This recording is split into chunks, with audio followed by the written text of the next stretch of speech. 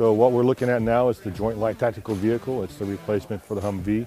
So the capabilities that the JLTV currently brings is it restores the Humvee A2 capability with the full-up body armor, the Mark 19 and the 50 cal, and the off-road, and maintains payload. With the new JLTV and full-up B-kit armor, you can still carry 3,100 pounds. It has a range of 300 miles and can go 75 miles an hour in, in an off-road mode.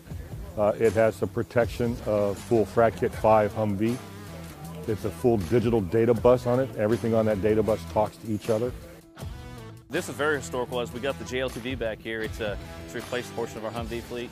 Uh, it's uh, with the technologies we have today, the, the Humvee is getting outdated with the, with the future of the vehicle. The Duramax engine, replacing the old 6.5 turbo. This has a lot more horsepower, range is better. Suspension is a whole lot better than the Humvee. The Humvee suspension is outdated as well. The technology of this vehicle outweighs what we have in the Humvee fleet today.